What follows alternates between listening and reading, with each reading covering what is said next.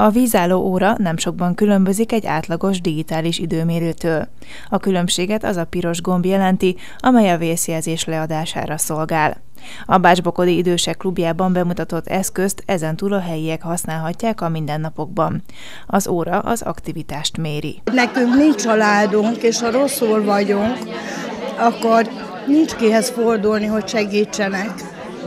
És ezért nagyon-nagyon jónak tartom, mert egy kicsit nyugodtabbak leszünk ha valami baj van. Az első 40 készüléket a 65 év feletti Bokodi és Borsódi idősek vehették át a héten, a szakmai programot pedig az őszi napfény integrált szociális intézmény vezeti. Szociális alapszolgáltatásokat igényelni kell.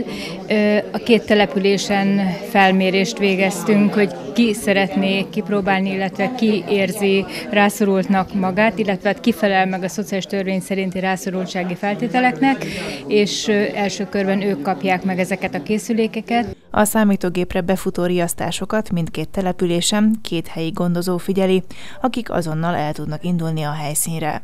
Ehhez viszont lakáskulcsra is szükségük lesz, ami a települések polgármesterei szerint már bizalmi kérdés. Ilyen értelemben talán előny a, a község, a kis település, ahol magába hordozza a nagyságrend, hogy kellően ismerik egymást adott esetben, akik kijelölések kerültek az integrált szociális intézmény részéről, régről ott élnek, a szociális intézményen belül dolgoznak, jó kapcsolatot ápolnak az emberekkel, szociális egészségügyi ismeretekkel bírnak. A térség országgyűlési képviselője a program megnyitóján elmondta, a tapasztalatok alapján szeretnék, ha minél több településen elérhető lenne az ingyenes szolgáltatás. Én azt remélem, hogy az elkövetkező időszakban, hogyha a gazdaság teljesítménye ezt megengedi, és a tapasztalatok is azt mutatják mondjuk itt Bácsbokodon és Bácsborsodon, hogy megfelelő a rendszer arra, amit szeretnénk, tehát hogy a, figyeljünk az idősekre, akkor én azt remélem, hogy lesz lehetőség ennek a bővítésére. De ez legyen a tapasztalatok